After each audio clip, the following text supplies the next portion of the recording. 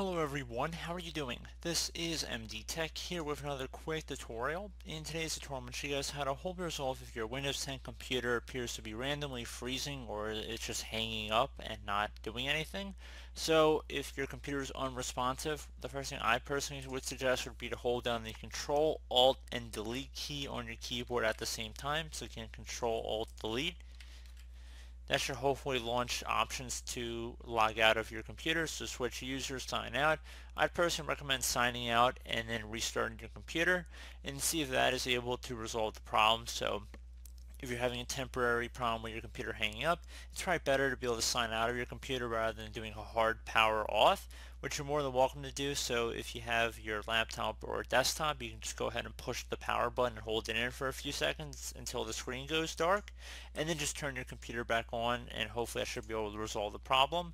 So just keep in mind you're obviously going to lose any open programs or applications you might been working on, so you might have unsaved data, but at that point if your computer is already freezing up and might already be gone, so you might have really no choice but to just do a hard reset.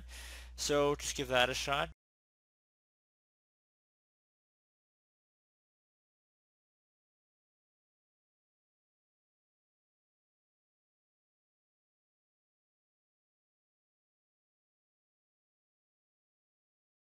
Another thing I would suggest would be to go ahead and open up the Start menu. Type in File Explorer. Best match should come back with File Explorer. Go ahead and left click on that.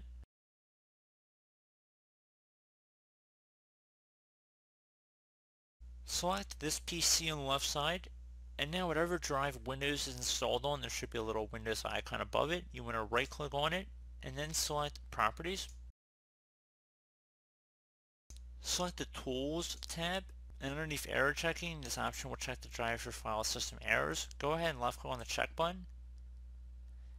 Select Scan Drive. You can keep using the drive during the scan. If errors are found, you can decide if you want to fix them. I would suggest closing and saving any open applications just as a precaution, so I'm just going to go ahead and select that. Should take a couple moments to scan here.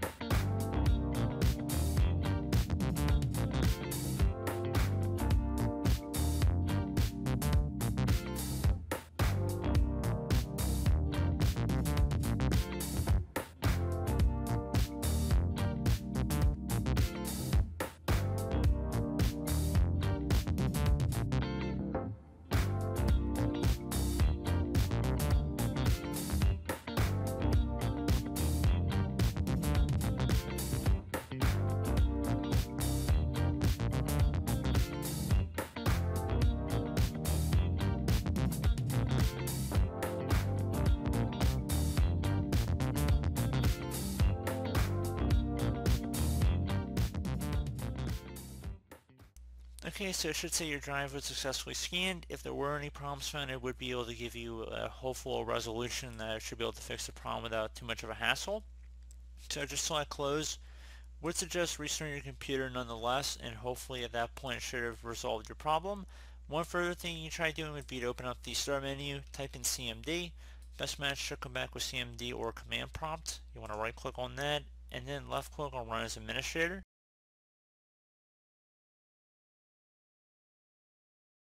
If you receive a user account control prompt, left click on yes.